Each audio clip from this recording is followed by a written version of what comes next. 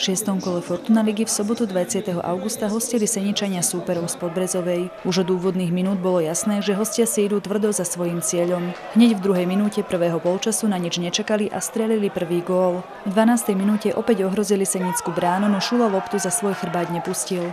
Domáci mali väčšiu šancu v 20. minúte, keď vystrelil na bránu Podbrezovej kratochvíľ, ale skóre nezmenil. S pribúdajúcim časom sa Seničania viac skoncentrovali, no vsietiť gól sa im do konca polčasu nepodarilo. Ani druhý pol polčas nebol pre domácich podľa predstav. Hostia sa snažili neinkasovať a tomu podriadili aj svoju hru. Senickí futbalisti sa však už gólovej šance nedočkali. Podbrezová tak jediným svojim gólom zvíťazila nad Senicou a odniesla si tri body. V najbližšom domácom zápase sa senickí futbalisti predvedú v sobotu 10. septembra. Ich protihráčom bude Ružomberok.